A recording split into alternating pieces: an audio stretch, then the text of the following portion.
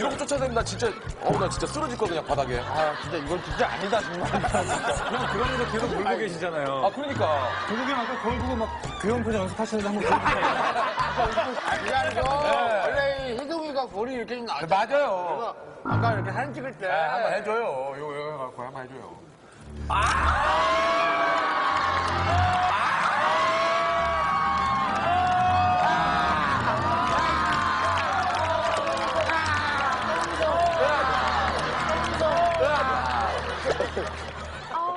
진짜 무섭지. 아니, 캐릭터상으로는 여기서 제일 나이 어린데.